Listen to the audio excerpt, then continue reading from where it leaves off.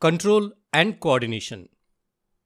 Animals and plants produce responses to stimuli. Shivering to cold weather. Here, cold weather is the stimuli and the response is shivering. A plant bending towards sunlight. In this case, sunlight is the stimulus and bending of plant is the response. Mouth watering to an ice cream. In this case, ice cream is the stimuli and salivation, that is mouth watering, is the response. School principal's sudden visit to the classroom. If this is your stimuli, what would be your response? Write it in the comment box. But why do organisms produce responses to stimuli? Most of the responses produced by the organisms protect them from the dangerous stimuli. But which systems help the organisms to produce responses to stimuli? Nervous system and hormonal systems help the organisms to produce responses to stimuli.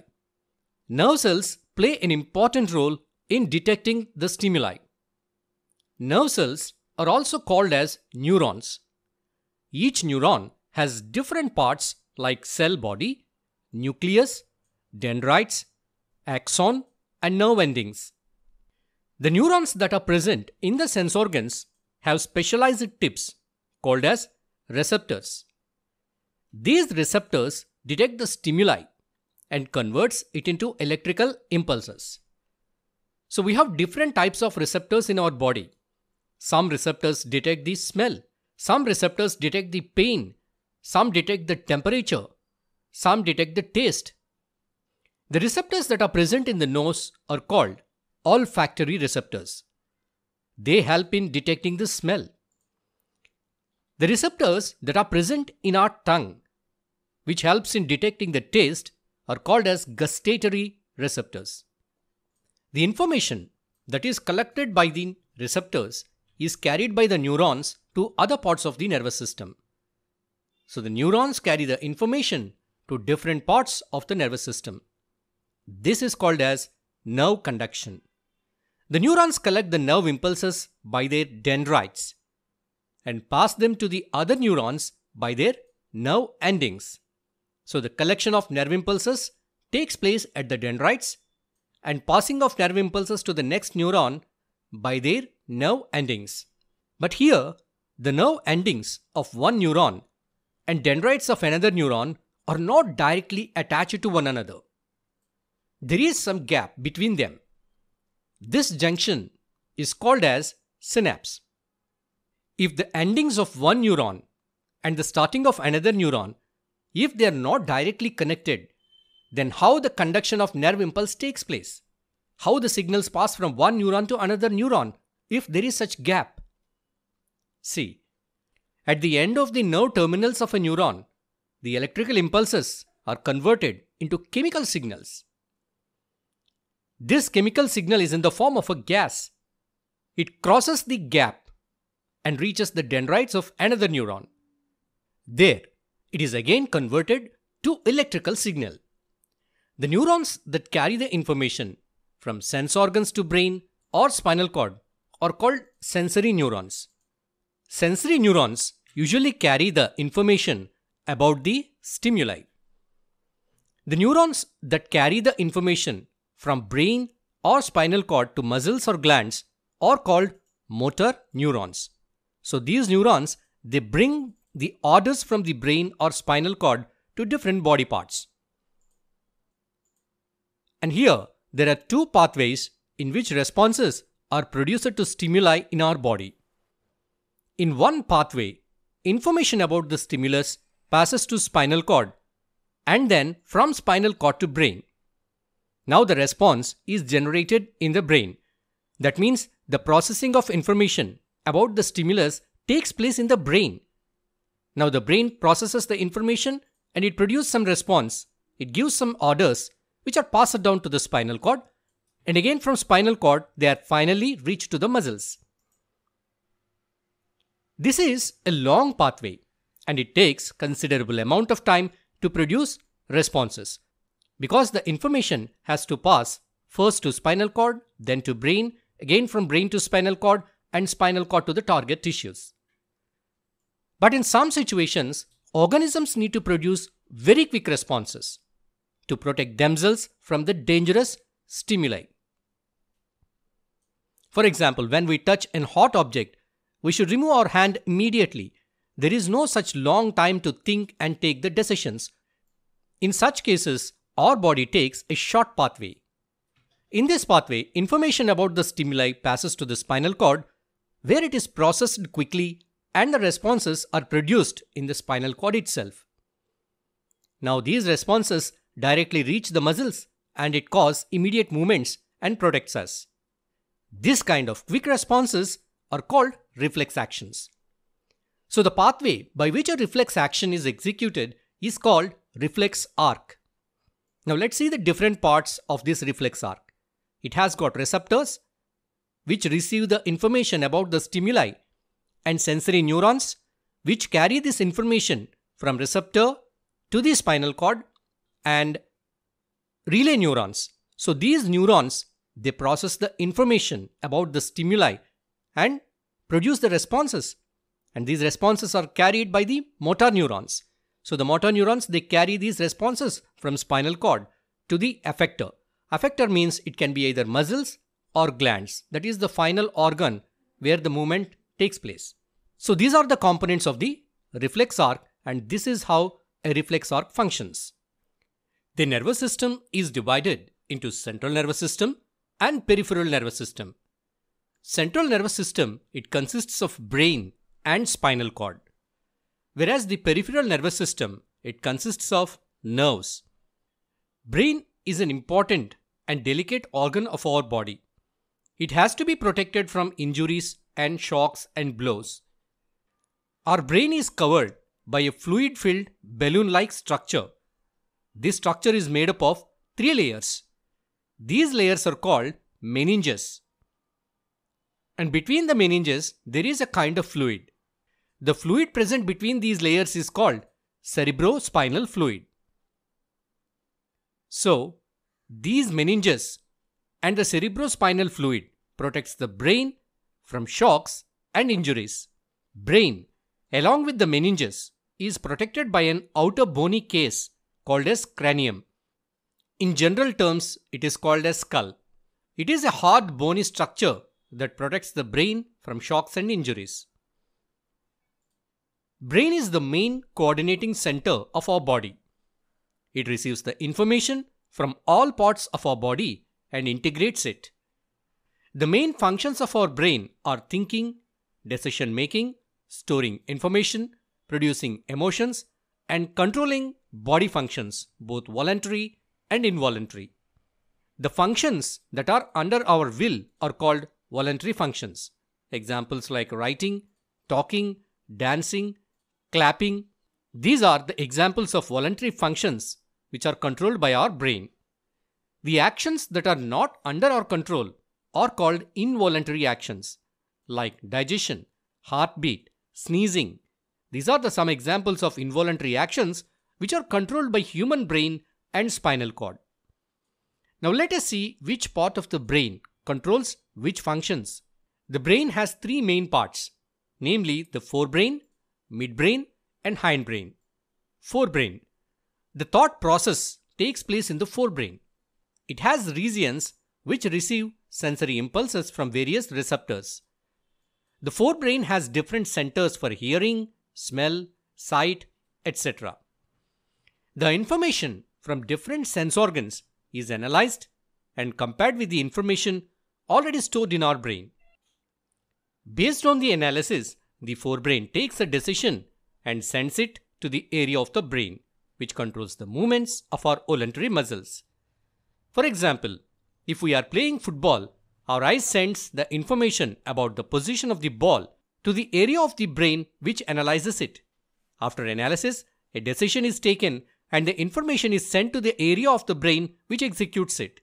It causes the necessary movements in our muscles and makes us kick the ball in right direction with right force. The sensation of hunger and feeling full is also controlled by a separate area of forebrain. Next, we see midbrain. midbrain controls the visual and auditory reflexes. That means it controls the reflexes related to vision and hearing. It also has center for controlling the movements of our eye and eyelids. Hindbrain. Hindbrain has three parts, namely pons, medulla oblongata, and cerebellum. These parts control the involuntary functions of our body. Pons controls sleep and wake cycle and breathing. Medulla controls heart rate, breathing, blood pressure, and more involuntary functions. Cerebellum.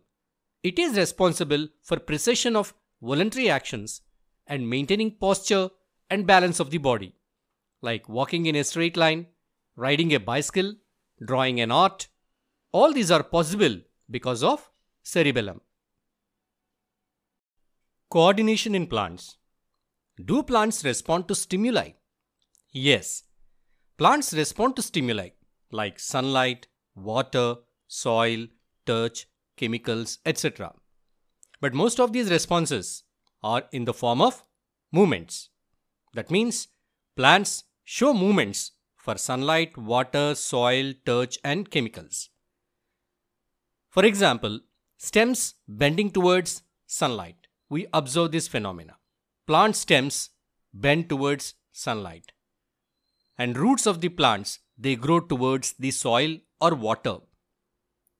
And tendrils of the plants, which have weak stems, like creepers, we can observe that the tendrils of the plants coil around the support. And we also observe the closing of leaves of touch-me-not plant when it is touched. So all these are the responses that are produced in the form of movements. Then how do plants produce movements?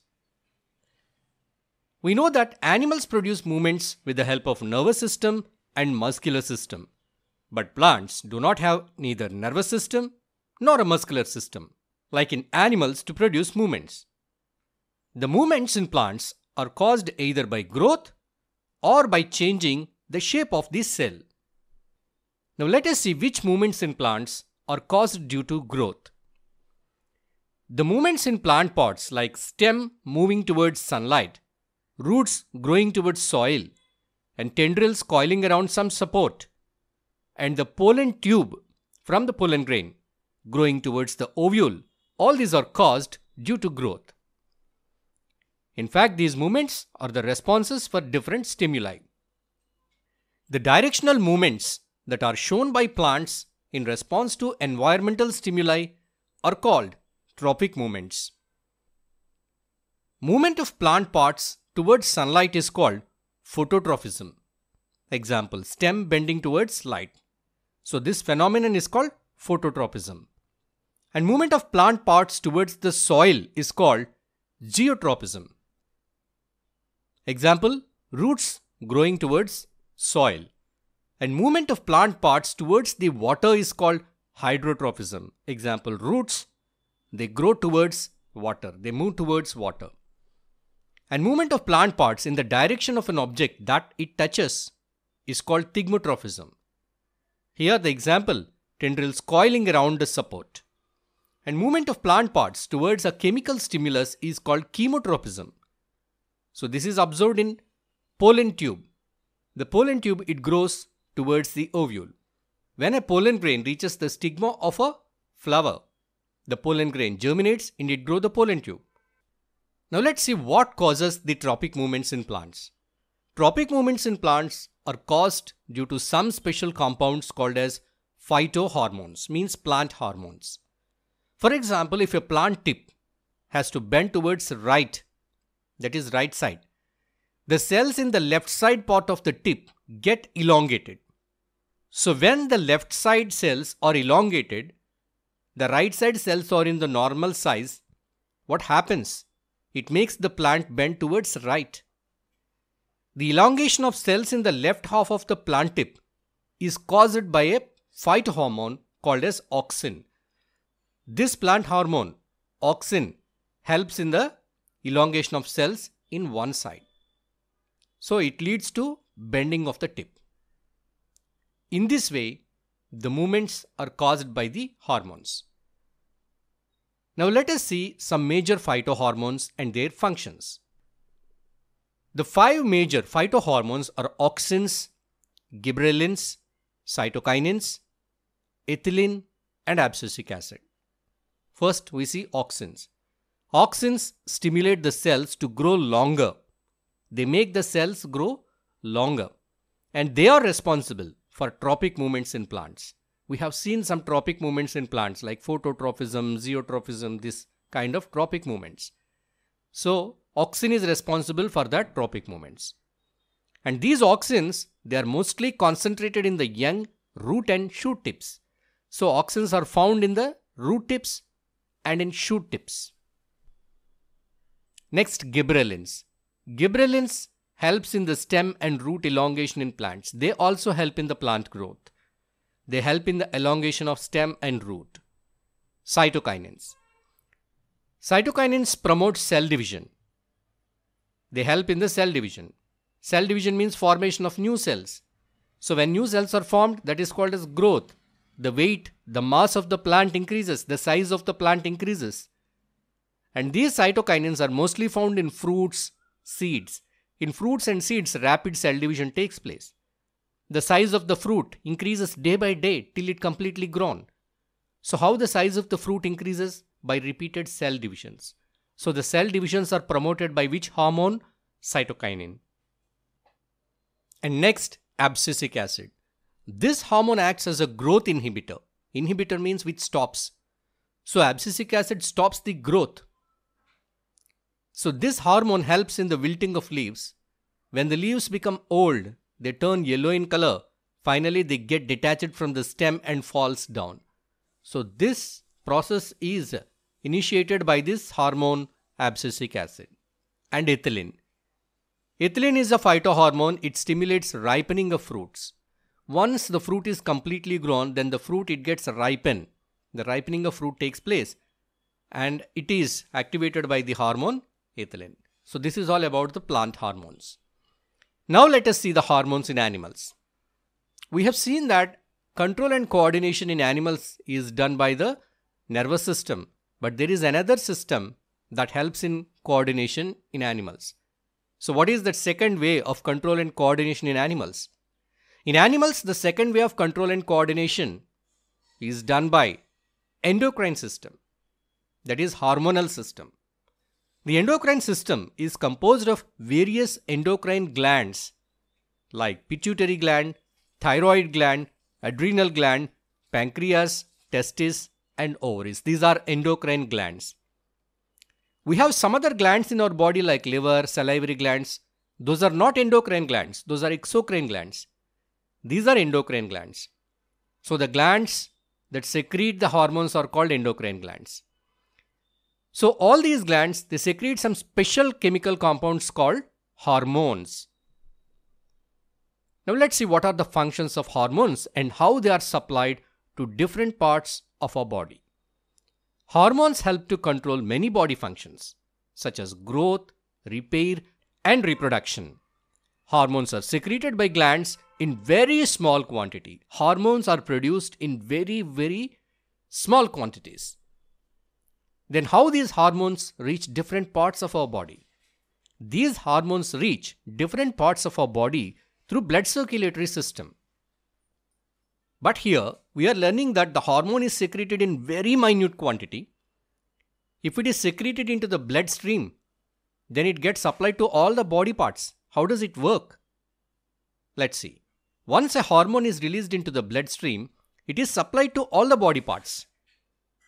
But it acts only on the target tissue or organ. That means if the hormone it has to work on kidneys, even though it is supplied to all the body parts, other body parts will not accept it. Only the target organ, which organ needs that hormone, it accepts it. So, in such a way, hormones are supplied by the blood circulatory system. How do hormones help our body in producing a response towards a stimulus? Let's understand the functioning of hormones with an example. If a person is attacked by a dog, then he should either fight with the dog or run away from the dog. So here, the dog's attack is the stimulus, and the man running or escaping is the response. In such a situation, a hormone called adrenaline is secreted by adrenal glands in our body. Adrenal glands are present on the top of the kidneys. So this kind of situation is called as fight or flight situation. So when we are in such a danger situation, fight or flight situation, that means we have to fight with the dog or flight, run away from the dog. So for both the processes, either to fight or to flight, our muscles need large amounts of glucose and oxygen. Then how do the large amount of glucose comes to our muscles to do either fight or flight? It is done by the adrenaline. The main function of adrenaline is to increase the supply of oxygen and glucose to our skeletal muscles. So because in such a situation, our muscles need lot of glucose and oxygen either to fight or flight. So the supply of glucose is stimulated by the adrenal hormone. Even though adrenaline is supplied to all the parts of our body, only few organs accept it and functions accordingly. Adrenaline mainly affects our eyes, blood vessels, heart, lungs, and muscles. Due to the action of adrenaline, our heart beats faster and supplies more oxygen to our muscles. So when we are frightened, we observe that our heart beats fast. Why it is beating fast? Because to pump more oxygen, more glucose to the muscles. And also the blood from the digestive system and skin is taken and sent to the muscles. So the blood in the digestive system and skin is reduced and it is diverted to the muscles. So our muscles will be rushed with more blood, more oxygen, more glucose because they have some emergency. Adrenaline also increases the breathing rate by increasing the muscular movements of diaphragm and rib muscles. So adrenaline increases the breathing rate not only the heartbeat, the breathing rate is also increased. We breathe a lot. So this breathing rate is increased by the muscular movements of diaphragm and rib muscles. That is also done by the adrenaline. So this is how adrenaline helps us to produce a response during a dangerous or harmful stimuli. So this response is to protect us from the danger. So why is it important to have iodized salt in our diet? and how is it connected to our endocrine system. So we see the ads it is advised to consume iodized salt in place of normal salt because iodine is an important mineral required for our body. Do you know why iodine is necessary? Iodine is essential for making a hormone called as thyroxine. This hormone is produced by thyroid gland which is present at the neck region the main function of this thyroxine is to control the metabolism of carbohydrates, proteins, and fats. So these are the nutrients that we obtain from the food. So the metabolism of these nutrients is controlled by this thyroxine hormone. So that means our food intake and body growth are well balanced by this hormone. If we do not have sufficient iodine in our diet, it may lead to low production of thyroxine and causes a disease called goiter. So the main symptom of this disease is swollen neck. Next, which hormone is responsible for our growth? Growth hormone secreted by pituitary gland is responsible for regular body growth. The growth of skeletal muscles and bone is under the control of growth hormone. So we say when a person's muscles and bones are growing and he is becoming tall, then we say he is growing. So growth is observed in teenagers. They grow very fast. In their body, we can see the growth of skeletal muscles and bones growing, their height increasing. This is all happens because of a hormone called growth hormone. The deficiency of this growth hormone leads to a condition called dwarfism. So if the growth hormone is not produced, they do not grow at a normal rate and they become very short. So their growth is stunted. This condition is called dwarfism. In some people, overproduction of growth hormone takes place. The overproduction of growth hormone leads to a condition called gigantism. So gigantism means giant. He becomes a giant more than the normal height. Usually people grow up to some 6 feet or 6 point some inches. But some people may grow beyond that, 7 feet more than that. So it's all because of overproduction of growth hormone. So this condition is called as gigantism.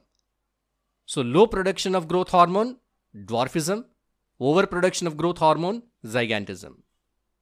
Next, which hormone is called the male hormone and why is it called so? Testosterone is called as male sex hormone. It is called so because it helps in the development of secondary sexual characters like growth of mustache, growth of beard, development of testes, and production of sperms in boys. Which hormone is called female sex hormone and why is it called so? Estrogen is called as female sex hormone. It is called so because it helps in the development of secondary sexual characters in females like development of breasts, beginning of menstruation, development of ovaries, etc. Why do doctors suggest some people to eat less sugars and starchy foods in their diet? Doctors suggest some people to eat less sugary and starchy foods because they are suffering from a disease called as diabetes. Our blood contains glucose. The normal level of glucose in our blood is 99 milligrams per 100 ml of blood. If our blood glucose level rises, then a hormone called insulin is secreted by our pancreas. This insulin controls the raising blood sugar levels. But in some people, due to the malfunctioning of insulin producing cells of pancreas, less insulin is produced, which leads to a high level of blood sugar. Such a condition is called diabetes. High levels of blood sugar causes harmful effects on our body. Diabetic people are more prone to the diseases related to heart, kidney, eye and nerve. Types of reproduction. Reproduction is of two types, asexual reproduction and sexual reproduction. First, let us learn about asexual reproduction. Asexual reproduction means the reproduction that takes place without the fusion of sex cells or gametes. Only one parent is involved in this type of reproduction. So, asexual reproduction is a process that involves a single parent and no fertilization or gamete formation takes place. Asexual reproduction is observed in both unicellular and in multicellular organisms. First, let us see the different modes of asexual reproduction in unicellular organisms. Binary fission. Binary means two. Fission means splitting. In this mode of reproduction, one parent organism splits into two daughter organisms. This type of asexual reproduction is observed in single-celled organisms like amoeba, bacteria and euglena. Here we have two unicellular organisms. This is amoeba and this is leishmania. Leishmania causes Kala-Azar disease in humans. Amoeba has no fixed shape to its body. It can change its body shape. The fission in amoeba can take place in any plane because it has no specific shape, whereas leishmania splits in a specific direction since it has a specific shape. Multiple fission. Multiple fission means splitting into many. That means one organism splits into many new organisms. Certain single-celled organisms like Plasmodium reproduce by multiple fission. Next one, budding. Yeast is an unicellular fungus. They produce buds on their bodies. These buds get separated and grows into an individual organism. This mode of reproduction is called budding. These are the methods of asexual reproduction in unicellular organisms. Now let us see the methods of asexual reproduction in multicellular organisms. 1. Fragmentation. Spirogyra is an algae. It is a multicellular organism with simple body organization. It reproduces by fragmentation. In this method of reproduction, first the organism breaks into fragments and each fragment grows into a new organism. Next, regeneration. Certain multicellular animals have an ability to reproduce from their cut body parts. For example, planaria and hydra. If these organisms are cut into pieces, each piece can grow into a complete individual.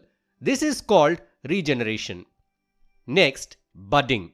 Hydra can reproduce by another sexual method of reproduction called budding. Hydras have regenerative cells in their bodies. They use these cells to produce small buds on their bodies. These buds grow in size and becomes big. They get separated from the parent organism and grows into an individual organism. Vegetative propagation. Flower is the reproductive part of the plant, whereas stem, root, branches, leaves and buds are vegetative parts of the plant. If plants reproduce through their vegetative parts, it is called as vegetative propagation. Cutting, layering and grafting are the three major techniques of vegetative propagation. Sugarcanes are grown by stem cuttings. Roses can be propagated by layering. Many fruit plants and trees are grown by grafting techniques. Advantages of vegetative propagation 1. Plants grown through vegetative propagation can flower and fruit sooner than those grown from the seeds. 2. These techniques enable the propagation of seedless plants like bananas, oranges, roses and jasmine. 3. Plants produced through vegetative propagation exhibit genetic similarity to their parent plant, ensuring they inherit all of its characteristics. Next, reproduction through leaves. In bryophyllum, certain buds are produced in the notches of their leaves. These buds are called epiphyllous buds. When these buds touch the soil, they germinate into new plants. Next, spore formation. Rhizopus, a common bread mold, reproduces through a process called sporangiospore formation. Specialized structures known as sporangia develops at the tips of the upright filamentous structures called hyphae. Inside these sporangia, numerous asexual spores called sporangiospores are produced. As the sporangium matures, it eventually ruptures, releasing the spores into the surrounding environment. These spores can then disperse and germinate under suitable conditions, giving rise to new rhizopus fungi. This is all about the asexual reproduction in organisms. Sexual reproduction in plants. Flower is the reproductive part of the plant. These are sepals. These are petals. This is pistil. Pistil is the female reproductive part of the flower. And this is stamen. It is the male reproductive part of the flower. A flower that has both male and female reproductive parts is called bisexual flower. Example hibiscus, mustard. A flower that has only either male or female reproductive parts is called as unisexual flower. Examples papaya and watermelon. Now let us study the reproductive parts of the flower. Stamen has two main parts named as anther and filament. Anther consists of small reproductive units called as pollen grains. If we touch the stamen of a flower, some yellow colored dust-like material sticks to our fingers. It is nothing but pollen. These pollen grains carry male reproductive cells in them. Pistil. It has three main parts stigma, style, and ovary. The top part of the pistil is called stigma. It is sticky in nature. The middle long tube like part is the style. The bulged bottom part of the pistil is ovary. Ovules are present inside the ovary. Each ovule has an egg cell in it. Pollination. For the process of fertilization, the pollen grains has to reach from anther to stigma. This transfer of pollen grains from stamens to stigma is called pollination. If the transfer of pollen grains takes place between the stamen of a flower to the stigma of this same flower or another flower on the same plant, it is called self-pollination. If the transfer of pollen takes place from the stamen of one flower to stigma of another flower on different plant is called cross-pollination. The pollen grains are carried to the pistil by the help of different agents like wind, water, insects or animals. Fertilization. Once the pollen lands on the sticky stigma, the pollen starts germination and produces a long tube called as pollen tube. This tube travels through the style and reaches the ovule present inside the ovary. The male cells from the pollen grain enters the ovule through this tube. The male cell fuses with the egg cell present inside the ovule and forms a zygote. This process is called fertilization. After fertilization, the zygote divides several times and forms an embryo. The ovule develops a tough covering around it and it turns into seed. The ovary grows in size and gets ripened to become a fruit. That means after fertilization, the ovule of the flower becomes seed and the ovary becomes fruit. Remaining parts like stigma, style, petals, sepals get dried up and fall off.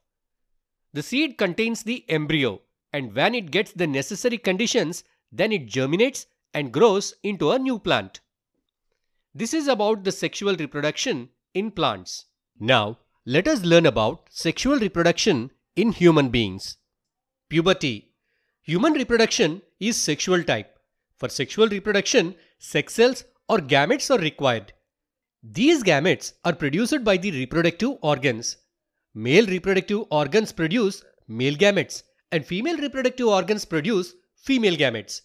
Boys and girls possess reproductive organs by birth, but they do not produce gametes till they attain certain age. The maturation of special tissues present in the reproductive organs takes place between 8 to 13 years of age in girls and 9 to 14 years of age in boys.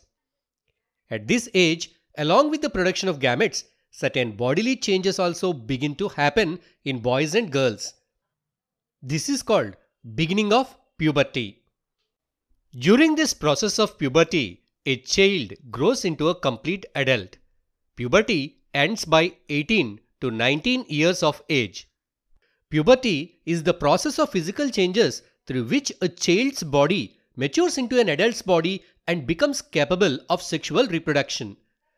Now let us see what kind of changes takes place in the bodies of boys and girls during puberty. Changes those are common in both boys and girls. 1. Growth of thick hair on new areas of body parts like in armpits and in genital areas between thighs. 2. The skin in these areas becomes darker in color. 3. Growth of thin hair on hands and legs as well as on the face. 4.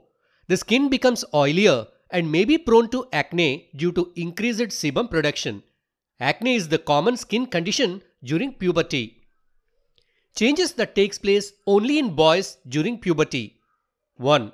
The voice becomes hoarse and cracked. The Adam's apple becomes more prominent. 2. Thick hair grows on the face and forms mustache and beard.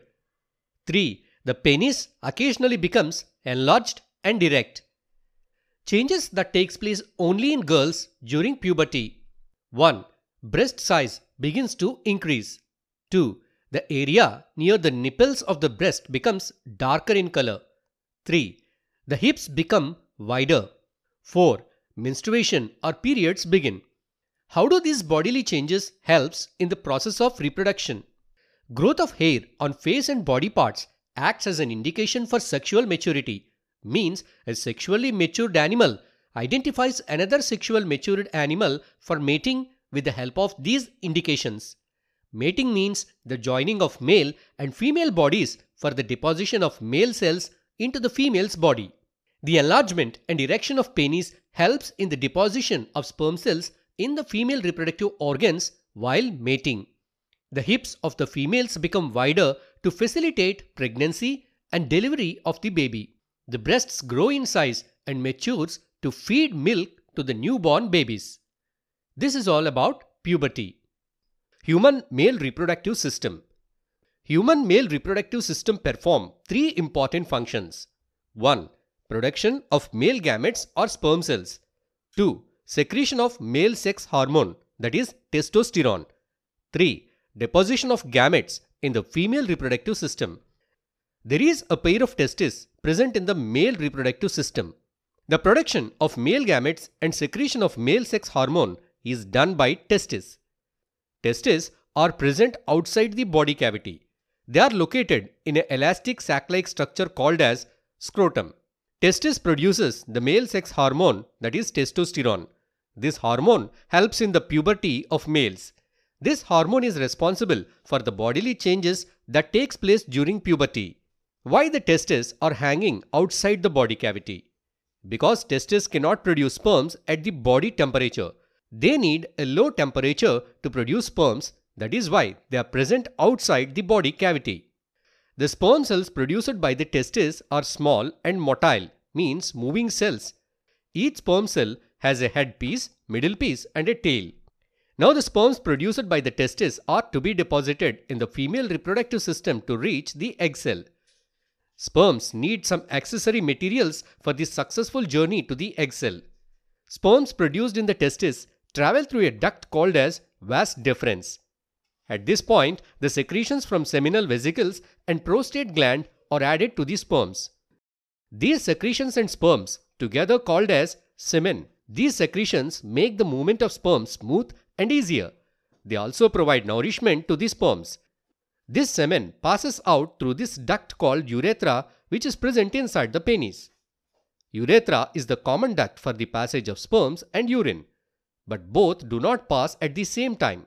During mating, the semen, sperms and secretions are deposited in the vagina of the female reproductive system by the penis of the male reproductive system. Human female reproductive system Female reproductive system performs four important functions. 1 production of female gametes or egg cells. 2. Secretion of female hormones that is estrogen and progesterone. 3. Providing necessary conditions for the fertilized egg to develop into a baby. 4. Menstruation. First let us see the production of female gametes or egg cells. This task is done by the ovaries of the female reproductive system. By birth, girls contain a pair of ovaries each ovary contains thousands of immature eggs. On reaching puberty, these eggs start maturing and gets released. Each ovary alternately releases one egg approximately every month. The released egg is collected into a tube called as fallopian tubule. The sperms deposited by the male in the vagina during sexual intercourse travels through the cervix, uterus and reaches the egg present in the fallopian tubule. If the sperms fertilize the egg, it becomes zygote. This zygote divides repeatedly and forms an embryo. This embryo moves towards the uterus and get implanted in the wall of the uterus. The lining of the uterus grow new tissues and blood vessels to accommodate the embryo. After implantation, the embryo grows into a fetus. The embryo gets nutrition from the mother's blood with the help of a special tissue called placenta. This is a disc-like structure embedded in the walls of the uterus. This placenta has blood spaces on the mother's side and villi on the fetus side. This arrangement provides large surface area for the exchange of materials between the blood of the mother and the blood of the baby. Here, the nutrients and oxygen are absorbed and wastes are released into the mother's blood. The development of baby inside the mother's womb takes approximately 9 months. This period is called gestation period. The delivery of the baby takes place by the rhythmic contractions of the uterus. What happens if the egg is not fertilized in the fallopian tubule? Every month, the walls of the uterus are get lined by blood vessels and tissues in the anticipation of embryo. If the egg is not fertilized and the embryo is not formed, then the unfertilized egg lives for one day. After that, the egg gets dissolved and the tissues formed on the lining of the uterus along with the blood slowly breaks and expels out through the vagina. The loss of blood and mucus from the vagina lasts for 2 to 8 days. This process is called menstruation. Since this process is periodical and happens for every 28 days, it is called as menstrual cycle or periods. This is all about the female reproductive system. Reproductive health. A boy has got the capability of producing sperm cells and the production of ovum started in a girl. Does it mean that they both are ready for sexual act to produce babies? No. The mind and body should be completely matured to participate in sexual acts. Otherwise, one needs to face so many complications. Health complications due to sexual acts. Sexual act involves the intimate contact of body parts, which may leads to the transmission of certain bacterial diseases like gonorrhea and syphilis and viral infections such as warts and HIV AIDS. For girls, getting pregnant at younger age can adversely affect their health. How to avoid these complications? 1. Participating in sexual acts only when the body and mind are completely matured, that is, only after crossing 18 years of age. 2. Having sexual relations with a single trustable partner. 3. By using contraceptive devices and methods. Contraceptive devices and methods. Condom. Condom is a rubbery covering that is worn on the penis during intercourse to prevent the entry of sperms into the female reproductive system.